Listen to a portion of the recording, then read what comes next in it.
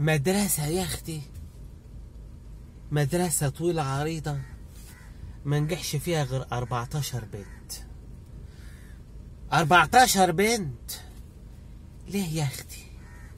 ده لو كانوا كتبوا رقم الجلوس واسمهم كان زمانهم نجحوا يا أختي.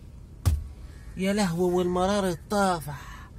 سنة ضاعت يا أختي من من من من من من, من, عمرهم يا أختي على الفاضي. اللي صعبان عليا واللي جاهرني. الأهالي يا أختي ده الراجل يا أختي من دول بيطلع اللقمة في بقه ويديها للبيت. آه يا أختي نهار ولا الدروس؟ الدروس اللي قطمة وسط الناس يا أختي. وبعد ده كله مدرسة لم ينجح أحد.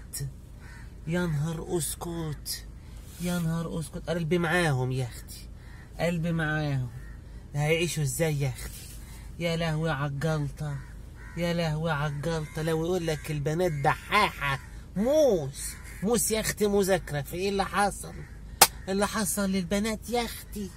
14 واحد بس في المدرسة هم اللي نجحوا. ليه؟ ليه؟